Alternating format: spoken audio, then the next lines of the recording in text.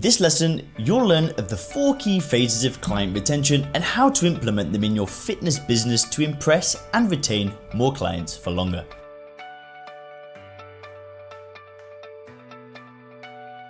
Well, the first step is understanding client retention. Did you know that it costs five times as much to attract a new online personal training client than it does to keep an existing one? Well, the first rule of any online training business is to retain clients and build a loyal relationship with them, and thereby avoid customer acquisition costs. It's a well established fact that 44% of companies have a greater focus on customer acquisition versus 18% that focus on retention. Client retention is arguably one of the most important aspects of your fitness business. It takes a lot of hard work to draw clients into your business, whether that be through online or offline efforts, so it's important that you work to keep these clients more, uh, more than satisfied once they actually decide to work with your company. So next you want to find out what your clients want the most. Now the data that you need to find out exactly what your clients want is right in front of you.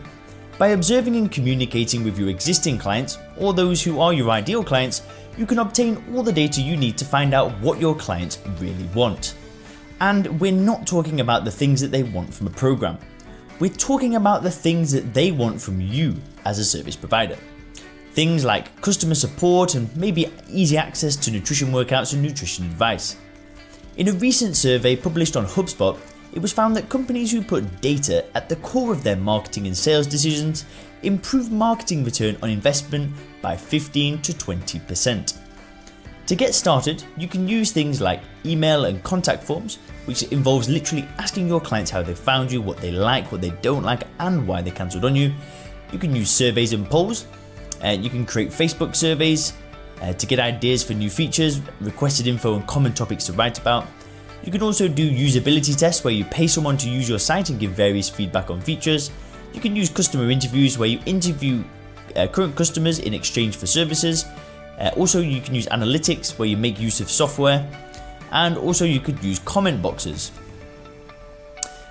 The next thing you want to do is use this data to improve your product or service. Now, your existing clients will tell you a lot about what they need and want in order to keep coming back.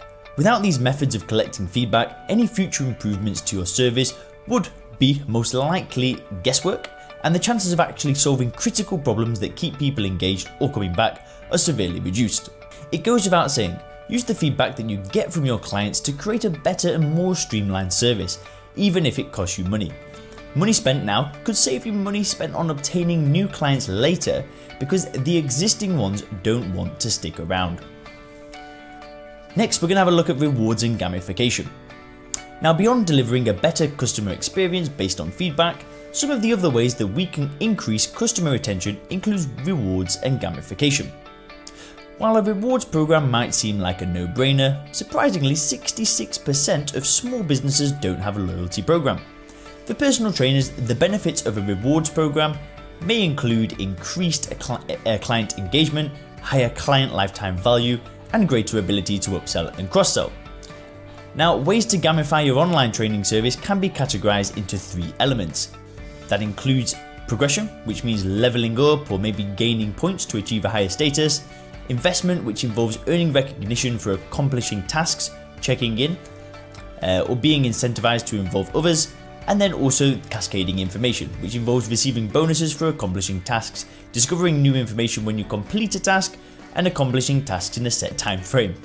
Now how you choose to gamify your service is up to you and depends very much on your business model and assets available to you. Now you also want to make it personal.